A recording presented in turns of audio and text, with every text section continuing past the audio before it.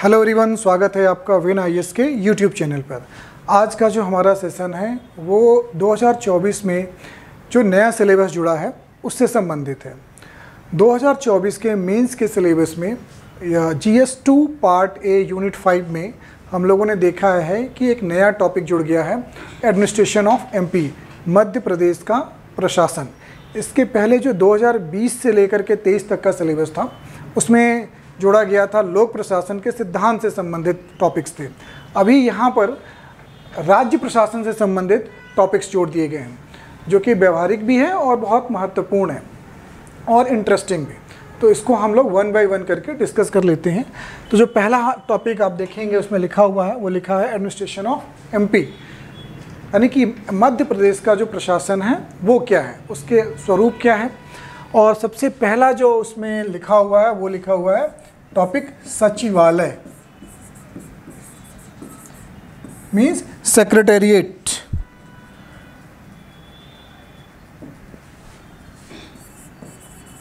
Secretariat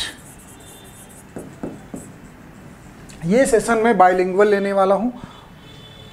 लिखूँगा अंग्रेज़ी में और हिंदी में भी लिखूँगा, बातें भी दोनों भाषाएँ में करेंगे ताकि दोनों भाषा के अभ्यर्थियों को सहूलियत होगी।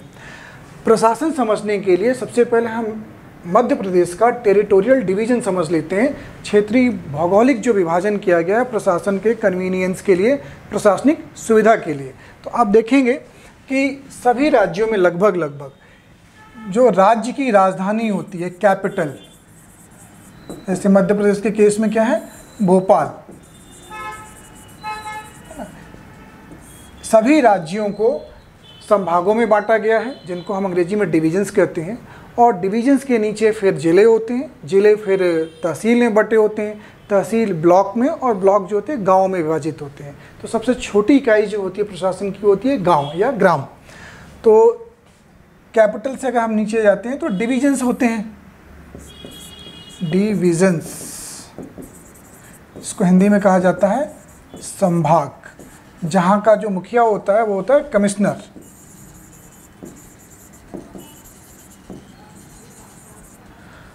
ये भी हमारे सिलेबस में है, इसको भी हम लोग डिटेल में बाद में पढ़ेंगे।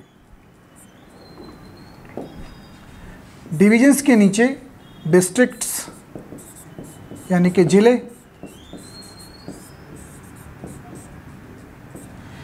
ज़िले के नीचे तहसील।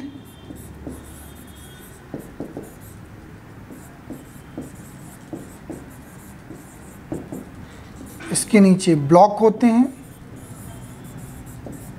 और यहाँ से नीचे विलेज होता है, यानी कि गाँव।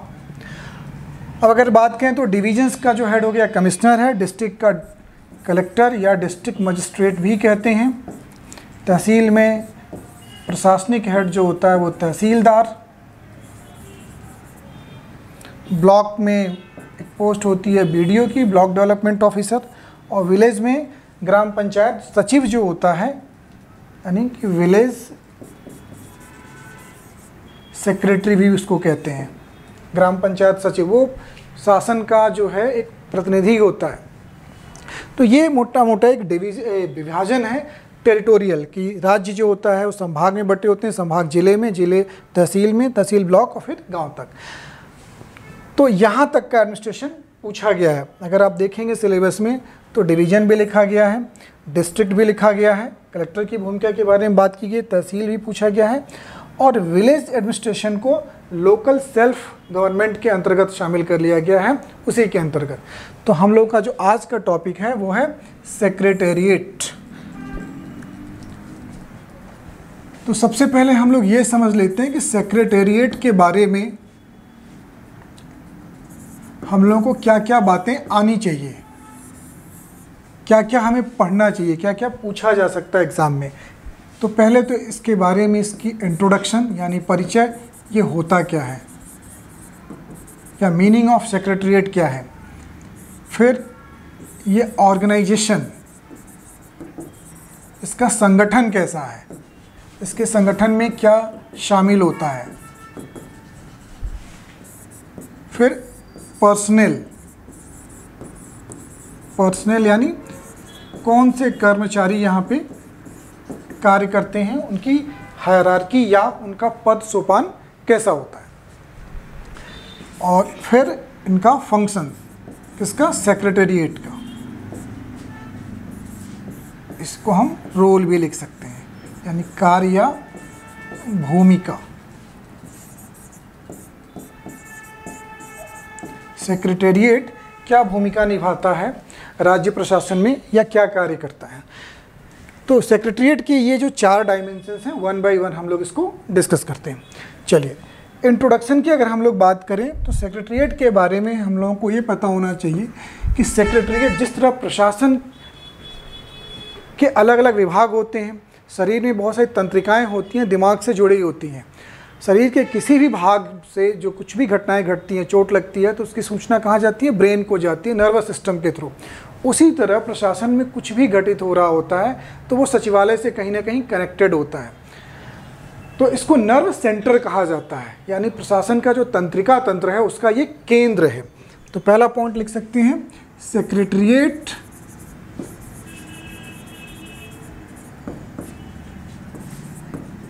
is the nerve center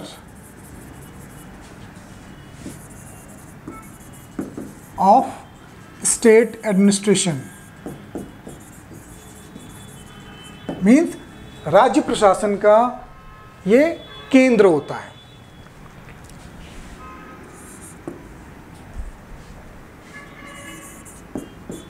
it is headed by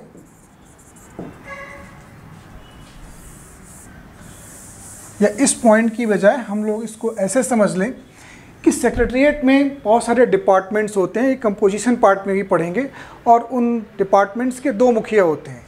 एक होता है पॉलिटिकल हेड जो कि मिनिस्टर्स होते हैं, और दूसरा होता है सेक्रेटरी या जिसको सिविल सीनियर सिविल सर्वेंट होता है, वो उसको हेड करता है। तो हम लोग, और इंटायर जो सेक्रेटरीट है, वो हेड किया जाता है चीफ सेक्रेटरी के द्वारा। तो secretariat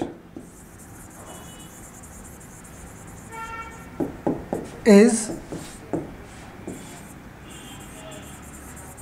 administratively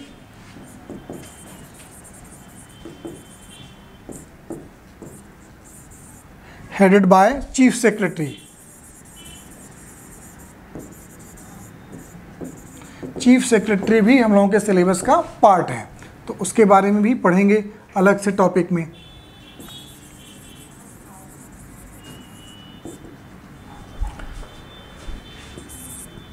इट कंसिस्ट यानी इसमें बहुत सारे डिपार्टमेंट्स होते हैं।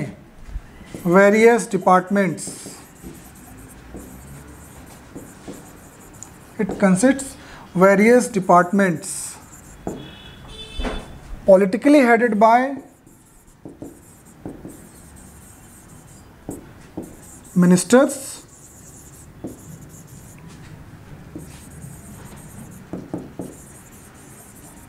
and administratively by senior civil servant called secretary and administratively by secretaries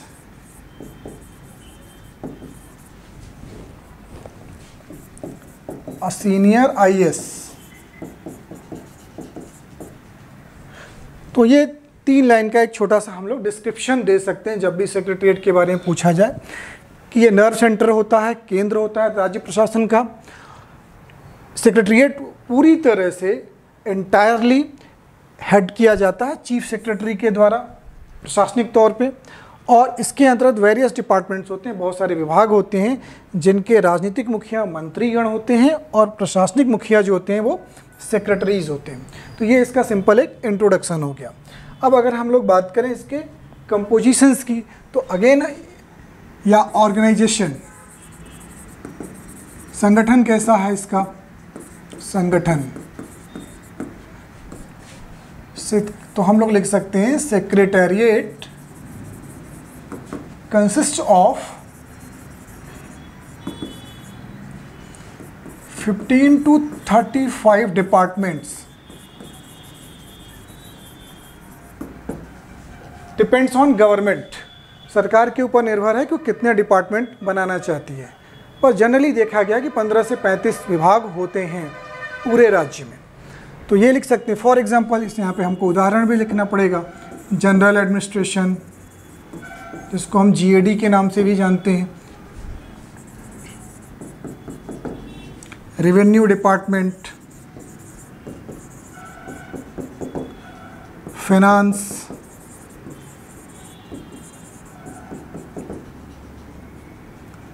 home department et cetera इस तरह के बहुत सारे जेल डिपार्टमेंट, बहुत सारे इस तरह के डिपार्टमेंट हो सकते हैं। और इन सभी में एक एक जो होते हैं सेक्रेटरीज जो होते हैं हेड होते हैं, और एक एक मंत्री होते हैं, वो राजनीतिक प्रतिनिधि होते हैं। या उनको हम कहते हैं कि वो नॉन परमानेंट एग्जीक्यूटिव हैं। वो केवल पाँच साल के लिए आते हैं, जबकि जो एडमिनिस्ट्रेटिव ऑफिसर्स होते हैं, ये परमानेंट एग्जीक्यूटिव कहलाते हैं। तो ऑर्गेनाइजेशन में हम लोग को इतना पता होना चाहिए। इसके बाद जो हमें जानना है दैट इज़ पर्सनल या इनकी कर्मचारियों का जो संगठन है, उनकी हायरार्की क्या होती है? Hierarchy of officers in secretariat यानी सचिवालय में जो अधिकारीगण काम करते हैं, वो उनकी पद सोपान क्या होता है? सबसे सीनियर कौन होता है? और उसके नीचे किस प्रकार से वो पद सोपान चलता जाता है। तो सबसे ऊपर जो होगा सेक्रेटरी ये मैं जनरल बातें कर रहा हूँ। एमपी के केस में कुछ चीज़ों में डिफरेंस है, वो जस्ट इसके बाद हम लोग डिस्कस कर लेंगे। Secretary then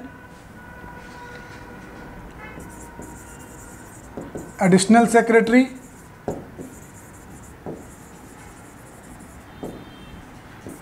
then, joint secretary.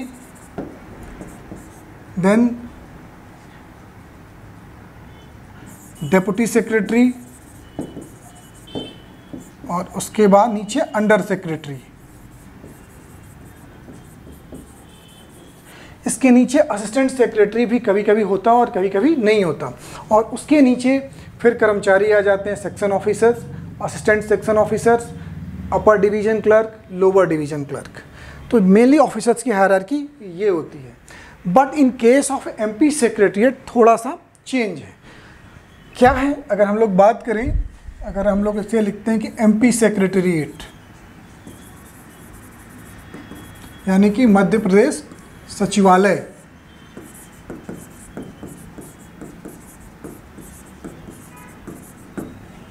तो मध्य प्रदेश सचिवालय का एक नाम है। किस नाम से जाना जाता है? इसको बोला जाता है वल्लभ भवन। ये भी इम्पोर्टेंट है।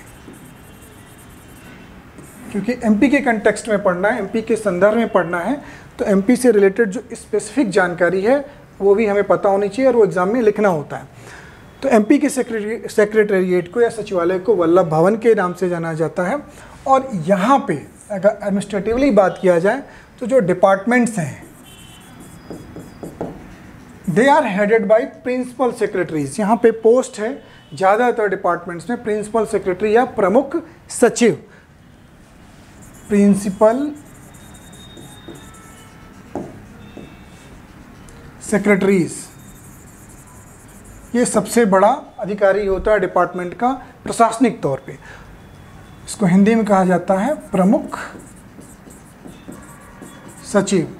इसके नीचे सेक्रेटरी और फिर वही पद सोपान है हैरारकी है। Additional secretary deputy secretary and so on additional secretary को हिंदी में कहते हैं अपर सचिव। अक्सर हम लोग देखते हैं आदेश पे सिग्नेचर होते हैं अपर सचिव के। अपर सचिव इनको सचिव कहते हैं। एमपी के केस में ये पोस्ट है प्रिंसिपल सेक्रेटरी की क्रिएट की गई है। जैसे आप किसी भी डिपार्टमेंट की वेबसाइट खोलिए, जैसे मैं आपको फॉर एग्जांपल बताऊँ होम डिपार्टमेंट की वेबसाइट पे आप जा सकते हैं तो आप देखेंगे वहाँ लिखा होगा, श्री संजय दुबे प्रिंसिपल सेक्रेटरी और उनके नीचे दो सेक्रेटरीज हैं, उनके नाम दिए गए हैं। तो बाकी जगहों पे सेक्रेटरी होते हैं। तो हम लोगों को एमपी के कंटेक्स्ट में ध्यान रखना, अगर मान लीजिए आ जाए कि एमपी सचिवालय की संरचना बताइए तो आपको प्रिंसिपल सेक्रेटरी का उल्लेख करना पड़ेगा। तो ये हो गया एक सिंपल एमपी के केस में। और ये इन्फॉर्मेशन ज़रूर साइड में आप लिखें। फिर जो सबसे मोस्ट इंपॉर्टेंट डायमेंशन है दैट इज़ फ़ंक्शंस या रोल रोल ऑफ़ सेक्रेटरिएट क्या भूमिका निभाता है? तो अगर हम लोग भूमिका की बात करते हैं तो वन बाय वन इसके जो फ़ंक्शंस हैं, वो सारे हम लोगों को याद होने चाहिए। समझने की बजाय मैं इस बात पे ज़ोर दूँगा कि कैंडिडेट को इन सारे फ़ंक्शंस को याद कर लेना चाहिए, लेकिन दिमाग में इस तरह से बैठाना चाहिए कि बहुत मेहनत ना लगे। वो मैं बताऊँगा आप लोगों को कि एक प्रकार के कार्यों को एक साथ हम लोगों को लिख लेना है। तो पहला फ़ंक्शन हम लोग थोड़ा सा एक ये लिख सकते हैं कि secretariat is an staff agency.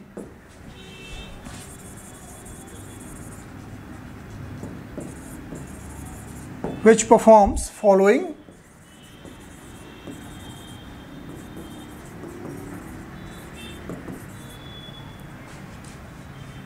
Functions. देखिए, मैं आप लोगों को इस पूरे सेशन में क्वेश्चन आंसर फॉर्मेट के रूप में डिस्कस कर इसलिए कर रहा हूँ क्योंकि एग्ज़ाम में इसी तरह लिखना होता है।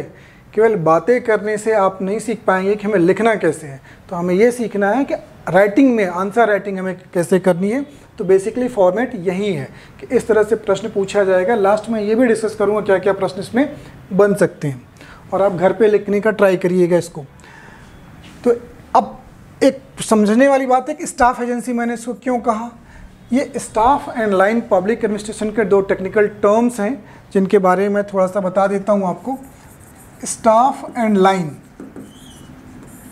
ये दोनों जो शब्द हैं, ये डिफेंस से लिए गए हैं, रक्षा क्षेत्र से लिए गए हैं। डिफेंस में जो संस्थान या जो टुकड़ियाँ फ्रंट में काम करती हैं, यानी कि लड़ाई लड़ती हैं दुश्मनों से, उन्हें कहा जाता है लाइन एजेंसीज यानी जो लड़ाई लड़ती हैं कम्बैटिंग एजेंसीज जो होती हैं।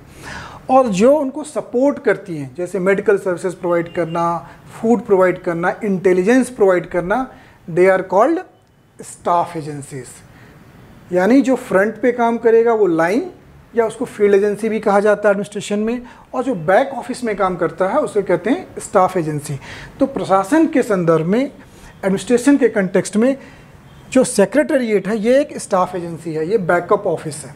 ये फ़ील्ड में या फ्रंट पे काम नहीं करता। तो फ्रंट का पे कौन काम करता है? लाइन एजेंसी के रूप में हम किसको कहेंगे? तो लाइन एजेंसी का एग्जांपल है डिस्ट्रिक्ट एडमिनिस्ट्रेशन। जिला है, तहसील है, ये क्या है? लोगों से सीधे संपर्क में होते हैं, इसलिए उन्हें लाइन एजेंसी कहा जाता है। तो कभी अगर आपको ये टर्म भी पूछ लिया जाता है कि लाइन एजेंसीज क्या होती हैं एडमिनिस्ट्रेशन में तो वे एजेंसीज या वे संस्थान जो लोगों से डायरेक्ट डील करते हैं, जैसे कि जिला प्रशासन तहसील प्रशासन, वो कहलाएँगी लाइन। लेकिन जो बैकअप ऑफ़िस में काम करते हैं, वो स्टाफ हैं, जैसे कि सेक्रेटेरिएट। तो सेक्रेटरीट एक स्टाफ एजेंसी है, जो निम्नलिखित कार्य करता इस तरह से लिखेंगे और इनके कार्यों के बारे में फिर हम लोग वन बाय वन करके डिस्कस कर लेते हैं। पहला काम, टू फॉर्मुलेट। ये राज्य सरकार के नीति एवं कार्यक्रमों का निर्माण करता है। To formulate policies and programmes policies and programmes of government सरकार की नीतियों एवं कार्यक्रमों को बनाना। अब यहीं से इससे संबंधित नीतियों और कार्यक्रम संबंधित जो जो कार्य करता है, उसको हम लोग एक साथ लिख लेते हैं।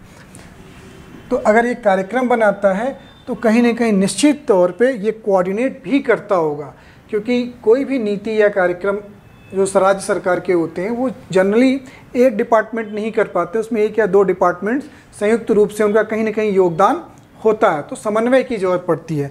तो यहीं से इसका एक फ़ंक्शन क्रिएट हो जाता है to coordinate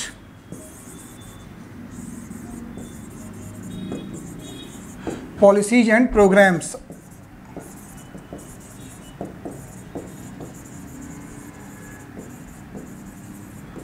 of state governments अब कोऑर्डिनेट कर रहा है तो फिर ये सुपरवाइज भी करेगा उसको। तो अगला जो फ़ंक्शन हो जाएगा to supervise policies and programmes of state government तो formulation coordination and supervision of policies and programmes of state government ये एक ग्रुप हो सक, कह सकते हैं हम लोग कि ये फ़ंक्शन है किसका? सेक्रेटरीट का। अब दूसरे फ़ील्ड की तरफ़ चलते हैं। फोर्थ फॉर्मुलेट या फ्रेम्स जो भी वर्ड आपको ठीक लगे, दोनों यूज़ कर सकते हैं। फॉर्मुलेट लेजिस्लेशन लेजिस्लेशन या लॉज कानून को बोलते हैं। रूल्स नियम और रेगुलेशंस पॉलिटी में आपने पढ़ा होगा ये तीनों अलग अलग होते हैं। यानी सचिवालय कानून, नियम और विनिमय का निर्माण विनियम का निर्माण करता है। फिर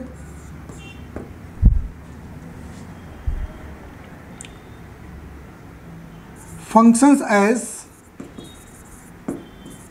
think tank of government government किसी भी निर्णय पे कोई निर्णय लेना चाहती है किसी मुद्दे पे निर्णय लेना चाहती है तो विचार विमर्श का जो कार्य होता है, वो सचिवालय में किया जाता है। फिर क्या लिख सकते हैं? Assist ministers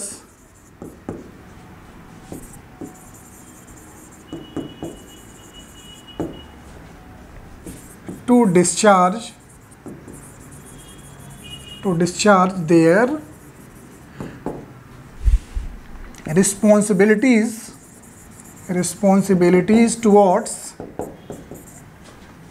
to the state assembly state legislature मतलब क्या हुआ इसका मतलब हुआ कि मंत्रियों की मदद करते हैं सचिवालय राज्य विधानसभा या विधान भवन में जो उनकी जिम्मेदारियाँ हैं, उसके निर्वहन में। फॉर एग्ज़ाम्पल उदाहरण के लिए like answering questions like answering questions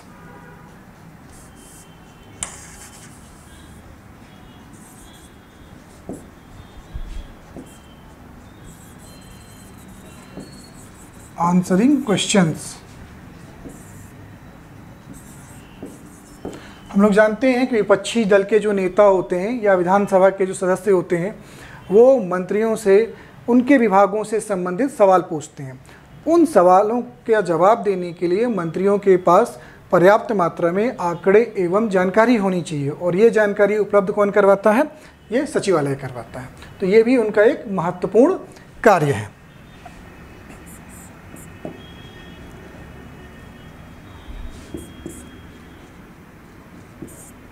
to explore measures उपाय ढूंढते हैं राज्य की स्थिति को बेहतर करने के लिए। To explore measures to improve financial position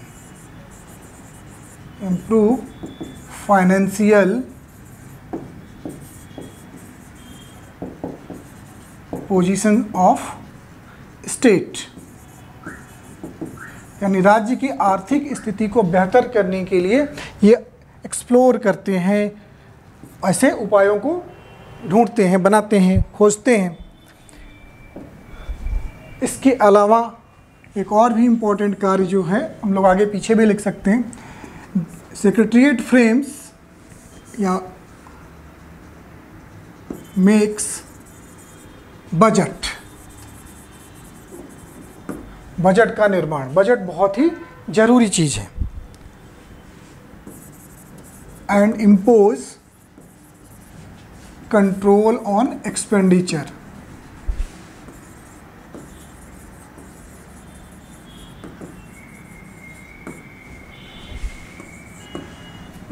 अन्य राज्यों एवं केंद्र के साथ जो कांटेक्ट करना होता है, वो भी काम सेक्रेटरीट करता है। तो कॉन्टैक्ट्स with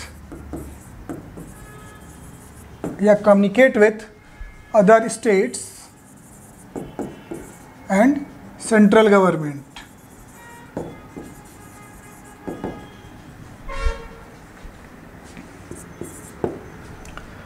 एक फ़ंक्शन और लिख सकते हैं to approve to approve service rules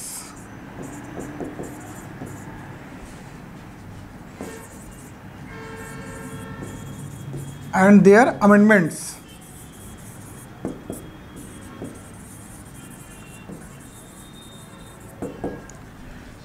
तो ये 10 पॉइंट्स पर्याप्त अगर ये 10 मार्क्स में भी आता है कि what do you mean by secretariat explain the functions और explain the role of secretariat in state administration तो भी आप इसको बड़े अच्छे से लिख सकते हैं दो पेज में। है ना? दस तो ये केवल इसके फ़ंक्शंस ही हो गए लेकिन प्रॉपर इन हेडिंग्स के अंतर्गत अगर पूछा जाता है सेक्रेटरीट से आप क्या समझते हैं, राज्य प्रशासन में इसकी क्या भूमिका होती है तो आपको प्रॉपर एमपी के संदर्भ में लिखना है है ना? प्रॉपर उनको बताइए कि यहाँ के सेक्रेटरीट का ये नाम है, इस सेक्रेटरीट में विभिन्न विभाग होते हैं, एक दो का एग्ज़ाम्पल लिखना है। तो प्रश्न जो बनते हैं, एक तो बनेगा, इस सेक्रेटरीट क्या what do you mean by secretariat या यूँ कहूँ, अगले पेज पे जो क्वेश्चंस आप प्रैक्टिस कर सकते हैं।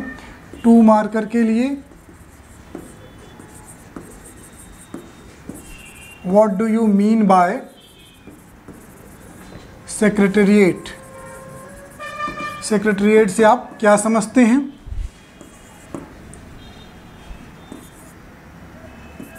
Who is the head of entire secretariat पूरे सचिवालय का प्रमुख कौन होता है? ये आपके टू मार्कर्स बन सकते हैं। सेवन मार्कर्स में क्वेश्चन बन सकता है। What is secretariat